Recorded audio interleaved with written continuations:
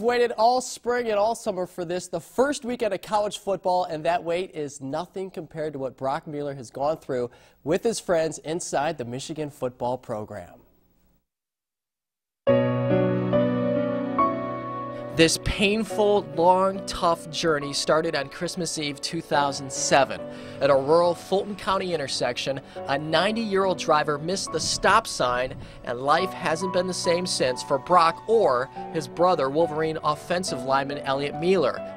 A memorial now rests near the road, honoring their father David, who died in the crash, as well as Elliot's high school sweetheart, Hollis Reeker. For me, being on this football team, that's something that's really helped me uh, helped me move on. You know, my brother's out here, and that's what's really been uh, been able to help me get through it. Moments after the accident, Elliot tried to free his brother by lifting the car. Elliot unsuccessfully tore his rotator cuff. Brock's spinal cord in the shape of an S with two shattered vertebrae, left with almost no hope to walk. They always just wanted me to uh, accept that fact instead of uh, being in denial and thinking that I was going to walk again.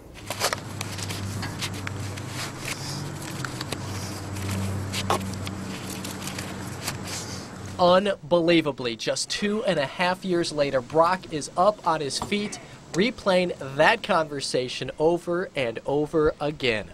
She said, um, at this point, we can tell you that um, you'll most likely never walk again.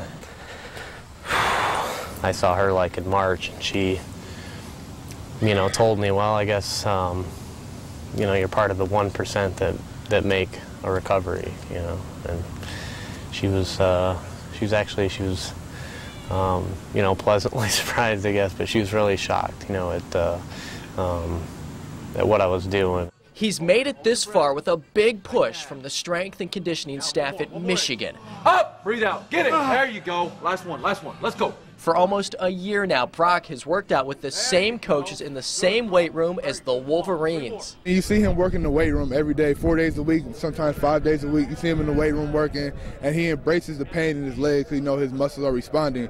So you look over at that, and you feel like your body's hurting a little bit. Then you see him working, you're like, I am not really hurting as bad as I thought I would. I think what he's done. Um, you know, it's just been amazing. He's had a lot of support from friends, family, really taken it head on and said, I'm going to do this. And it's really been by his will that he's going to do this.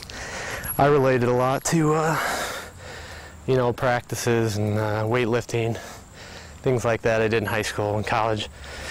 Um, it's, you know, it's all about focusing and, you know, pushing your body past that point where you're after your body's telling your mind like you can't, you know, do it anymore. It's all, it's all just a matter of telling your body that you can and, you know, and keep pushing. Why? Because a short 10 minute walk is no easy task. Just look at the sweat. I have about 200 things to, you know, think about as I'm walking now, which I guess is good instead of just, you know, walking however I can. I have to you know, think about all these techniques and specifically like trying to keep keep my knees bent that little bit on each step so they're not just straight and trying to find my center of balance. And half the time the limitations are just how much my mind can think about 33 months ago, Brock could not convince one doctor he'd walk again. But with the help of Coach Rodriguez, he's ready to make a 100,000 believers. He's dedicated his life to, to proving that he can walk again. And to be able to do that in front of a uh, for our for in front of our fans and national TV and all that's going to be quite emotional. And now the moment is here, the light at the end of the tunnel. His mother Shelley and brothers Elliot and Blake. Please welcome Brock